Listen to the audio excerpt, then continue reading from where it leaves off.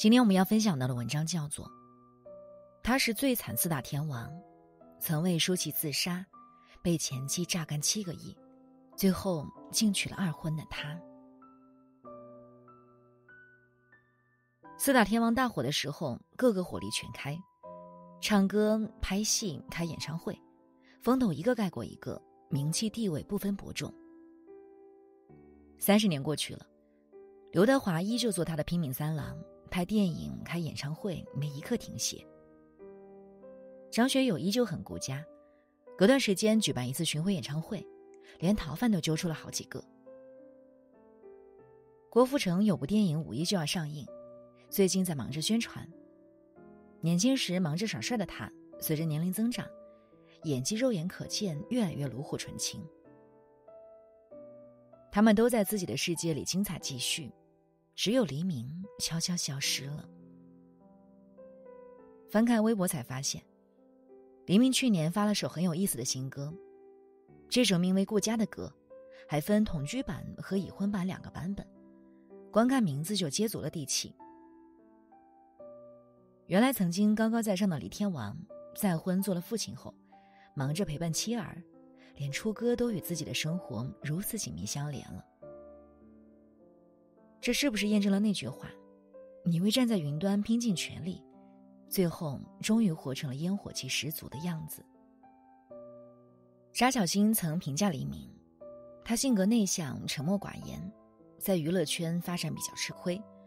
如果能改掉这些性格，必然是块瑰宝。确实，四大天王里。黎明是最安静、最文质彬彬的那一个，也是最没有存在感的一个。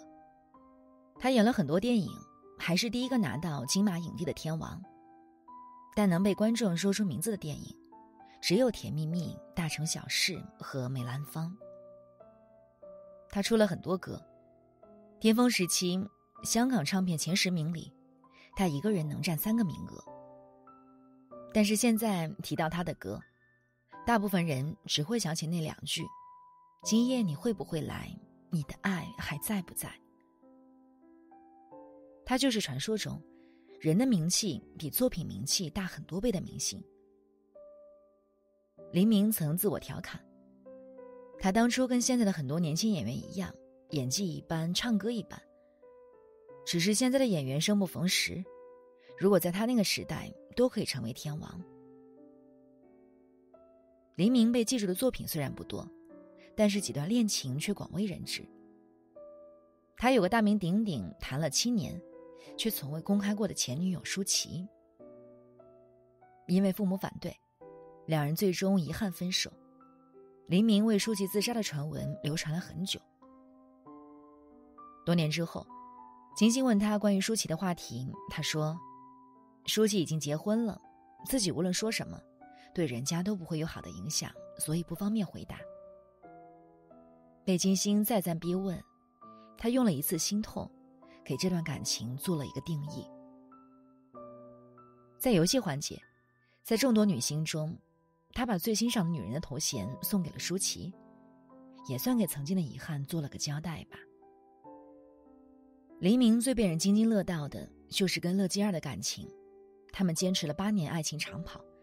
却在婚后短短四年就形同陌路，用实际行动验证了那句话：婚姻是爱情的坟墓。黎明一定很爱乐基儿，他不止大大方方公开了乐基儿的女友身份，还在媒体面前多次维护她，公开撒狗粮。跟黎明在一起时，乐基儿只是一个小模特，大多数媒体都觉得乐基儿配不上天王黎明。有记者曾有点挑衅的问他：“乐基儿到底是一个怎样的女孩？”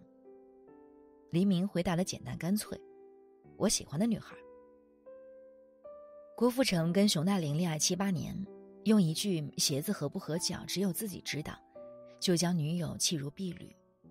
黎明不同，他给乐基儿办了隆重的婚礼，给了她合法名分，他还给了她最好的物质条件，价值五千万的房子。一千八百万的游艇，一千万的宾利，还有六处位于美国旧金山的房产和用不完的现金，据说高达两亿。但是显然，不是你送无数个苹果，对方就一定很喜欢，也有可能他喜欢吃的是桃子。乐基尔有一张中国脸，却是个在澳门出生、在美国长大的美国人。他热情、奔放、自由、洒脱。黎明是个很安静、古板的人，相信这也是乐基尔吸引他的原因。记得看过一句话：那些当初越吸引你的东西。可能越会成为你们分手的根源。黎明跟乐基尔的恋情就验证了这一句。黎明对他很好，但骨子里是个很传统的男人。乐基尔是知道的，所以刚结婚时，他曾努力尝试做黎明理想中的妻子。他洗去了纹身，远离了当初的朋友圈，关起门来学习做饭，还戏称自己是黎明的煮饭婆。黎明喜欢高品质生活，吃饭要去高级餐厅，穿衣服也要穿高定。他不喜欢社交，因为随时被媒体围堵，也不太可能去公共场所自由活动。乐基儿虽然在努力改变，可是他并不喜欢这种生活。他想交友、蹦迪、旅行、吃小吃，跟爱人一起逛街散步。但是很显然，天王嫂。只适合像朱丽倩一样被收藏，甚至圈养，并不适合做这些事。时间长了，两人矛盾越来越多。不愿再委屈自己的乐基儿开始回到自己曾经的生活节奏。他出去交友蹦迪，被媒体拍了不少照片。露底床照曝光，疑劈腿第三者。媒体一真一假的报道，对乐基儿越来越不友好。黎明不开心，但他自己释怀了。他明白，这段婚姻走不下去了。黎明试图挽回，但是都徒劳无功。这段曾经饱受争议的婚姻，昙花一现后就枯萎了。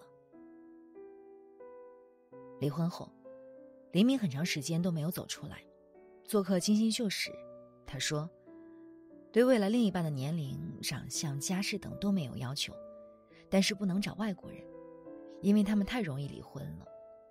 可见这段婚姻确实把他伤得很深。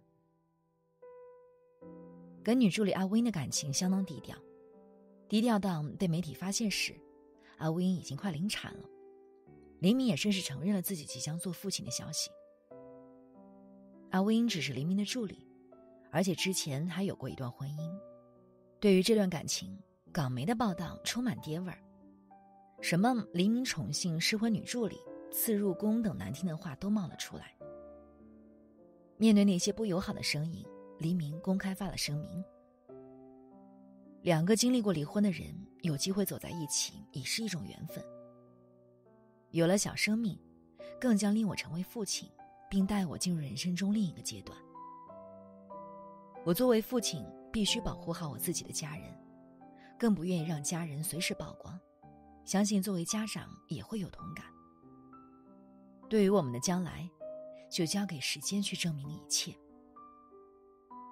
可见，黎明真的非常珍惜这段婚姻。阿威可能也是得益于过于平凡，才成了他真正想找的那个人。做了父亲之后，黎明变了。他分享过女儿的正面照。还配上一句弦外之音：“平凡是他的运气。”或许，做了那么多年天王，他真的很累吧？他减少了工作量，把一部分时间留给家庭。他的歌，也不再像以前一样表达浓烈的生死相依的爱情。去年出的《顾家》这首歌，没有浮夸的爱情，写的唱的。全都是实实在在的生活。平凡情侣也许只像知己，没夸张生死，随岁月流逝。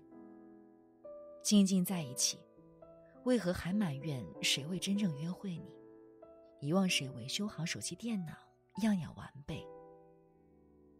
兜兜转转这么多年，他终于学会了什么是婚姻，什么是生活。凭良心讲。黎明是个好男人，他每段感情都认认真真，没有其他明星那些乱七八糟的男女关系。那段婚姻会失败，是因为尚年轻的他没搞懂两个道理：一，你给的并不一定是对方想要的。乐基儿提离婚，黎明肯定觉得委屈，因为他对乐基儿确实很好，豪宅、豪车、钞票一样都不少，但是，他没明白乐基儿想要的是什么。有太多太多男人觉得，我只要把工作做好，能往家里拿钱，就是个好老公了。他们不关注妻子真正的需求，把家当旅馆，把家务、孩子当成妻子的分内事。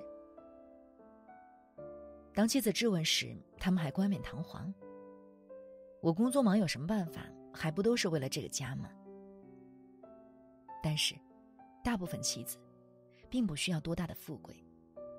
他们需要的，只是能一起吃个早餐、晚餐，家务、孩子你能插插手，周末一家人一起去野外逛一逛。我有困难时你能出现，哪怕生活简朴一点，他们也是愿意的。不要只给你想给的，忽略对方真正想要的，才是夫妻关系长久之道。最好的爱就是让他做自己。乐基儿为黎明改变了很多，改的不是他自己了，所以他不快乐了。有不少男人对妻子有很多要求：不能纹身，不能穿吊带短裙，不能化浓妆，不能晚归。不能交狐朋狗友，不能工作。他们希望妻子相夫教子、贤良淑德，最好不管自己在外面的花花草草。妻子们为了婚姻和谐，努力往老公期望的方向改变。改着改着，自己的快乐感没了，甚至到最后，婚姻也改没了。一个男人对妻子最好的爱，就是支持他做自己。